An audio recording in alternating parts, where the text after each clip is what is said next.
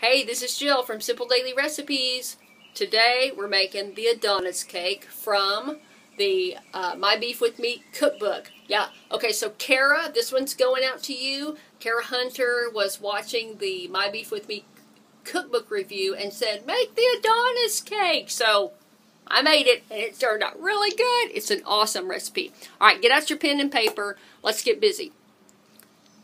Okay, in a large mixing bowl, you're going to need one and a half cups of whole wheat flour, three tablespoons of unsweetened cocoa powder, one teaspoon of baking soda, and then Rip says two-thirds cup pure maple syrup. I did not uh, want to use that much syrup in my recipe. Uh, I like using maple syrup where I can taste it immediately. So I substituted evaporated cane juice sugar, just a one. I just you know one to one exchange there, um, and then six. Okay, and then I whisked all the dry ingredients together, and then went on to with my wet ingredients: six tablespoons of unsweetened applesauce, one tablespoon of white vinegar, or apple cider vinegars, which is what I had on hand 1 teaspoon of vanilla extract, and 3 fourths cup cold water. Okay, and then just whisk that together into a smooth batter. Now, um, I'm sorry, I should have mentioned this earlier. You need to heat the oven to 350 degrees Fahrenheit and get out a 9 inch, uh, 9 by 9 inch nonstick cake pan. Okay, uh, nine by nine. Okay, well anyway, so so uh, and then he doesn't recommend it, but I was kind of you know it's baking, so I was a little feared. I I wanted to make sure my cake was going to come out of the cake pan pan, so I did very very very very very very lightly oil my cake pan. Um, so uh, you know I admit it. I admit it. All right, and then uh, that's it. And then we're gonna pop that uh, cake batter into the oven and bake anywhere from 25 to 30 minutes depending on your oven. I have an old oven and it only took like 25 minutes so um, depending you know if you have a super new oven it may only it may take you less time just uh, I don't know but anyways just play it safe 25 to 30 minutes and uh, and then you want to be sure to um, make sure that oh and then, and just cool it uh, the cake, let the cool the cake cool for just a couple of minutes, and then go ahead and turn it out onto the platter that you're going to use to serve it. Uh, it it really does pop out uh, pretty easy. Okay, um, let's move on to the frosting. Okay, for the frosting, you're going to need in your mixing bowl um, a 12 ounce package of silken tofu, 3 fourths cup of dairy-free semi-sweet chocolate chips melted, which I popped into the microwave at 70% power and um, for one and a half minutes. Now I went one minute and then I waited and went 30, 30 seconds. That's how I did played it off and that melted perfectly. And then uh, and then I tried to go old school. Oh, I'm sorry. The last thing is one tablespoon of vanilla extract. Now, once I had these three together, I thought, okay, I'm just going to go old school, and I'm going to whisk this with a whisk, and I'm just get in there and, you know, do the old elbow grease thing, and uh, it, nah, it didn't work.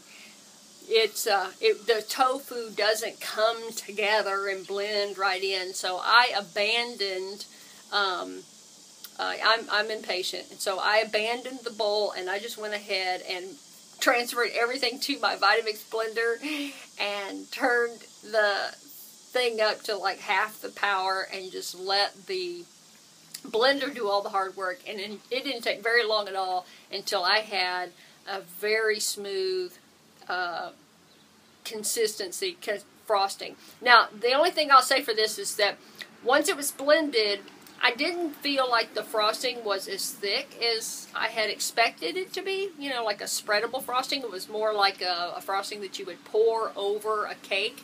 And so that was kind of a bummer. So I end up adding uh, two and a half teaspoons of chia seeds and blended that in, and that made, and then put it in the refrigerator. uh, I took it, took my uh, transferred the frosting into a you know another dish and stuck it in the fridge, and I let that thicken on its own. And that was probably in the refrigerator for about half an hour or so, and it got really, really thick. I mean, I could run my finger through this frosting, and it was just like real frosting. It was absolutely awesome. So. Uh, I would add that to this recipe, two and a half teaspoons of chia seeds, and and make sure that when you're running it in the blender that you know it, that they get well chopped up because they will actually just disintegrate in a good blender. Okay, now um, let's frost the cake. This is my favorite part. Okay, so the cake pan, the cake came out of the cake pan, easy peasy. Uh, and here, I, I don't even think I'm going to say anything. See how thick the frosting is. The chia seeds are uh, did a wonderful job. And this stuff smears on so easy. It really is pudding frosting. It shouldn't even be called frosting. It should be just called pudding. Absolutely wonderful. Not too sweet at all. You could add um, a little bit of sweetener to it. Give it, stick your finger in it after it gets cold, or no, I mean before you put it in the fridge, stick your finger in it and see if you like it uh, the way it is. If you like a dark chocolate frosting, then then go with the way I told you. If you want it a little sweeter, um, you can add one up to one tablespoon of maple syrup. Here's a good place to put maple syrup, and that will sweeten it without it being overpowering. It'll match the cake beautifully. Oh, beautiful. Yummy. Now the frosting actually makes about two cups, and you only need, you don't need that much frosting to put on this one layer cake. So uh, you can use the rest of the frosting as pudding. Seriously, you could just eat it as pudding. That's what Rip said, and I totally agree.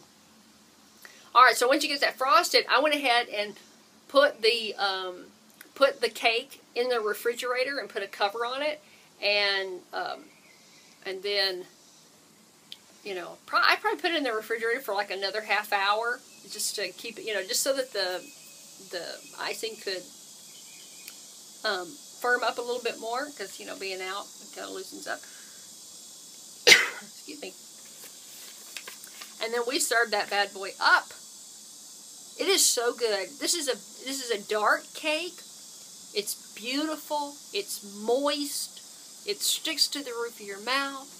You are going to want to enjoy it with a nice hot tea, maybe a little coffee, or some milk, some non-dairy milk, you know, unsweetened, of course, because you don't want any more sweet. This stuff is perfect the way it is. Absolutely beautiful. All right, there you go. Adonis cake from My Beef with Meat. If you haven't picked this book up, you need to. It's a great book. 36 points on why we should be eating a whole food plant-based diet. Absolutely awesome. Okay, I'm going to let you go. Have fun. Let me know what you think, and uh, let me know when you bake this cake. All right, bye. And thanks, Cara, for suggesting to make the recipe. Bye.